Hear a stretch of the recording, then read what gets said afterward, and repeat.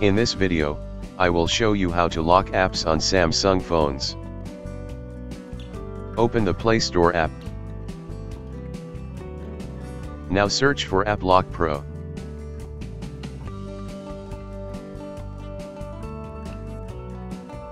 Install it now.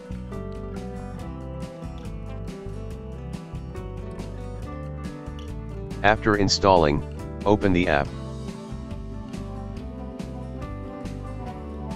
Set your password now.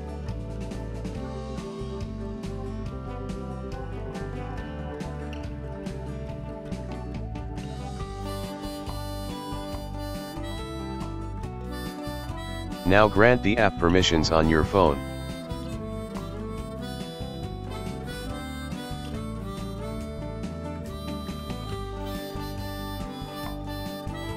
Now select which apps you want to lock.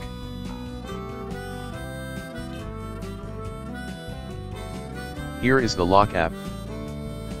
And here is the unlock app. Now try to open the locked apps.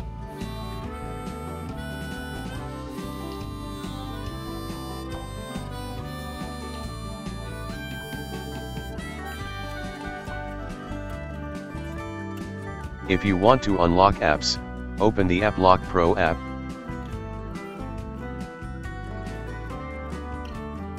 Now deselect all locked apps.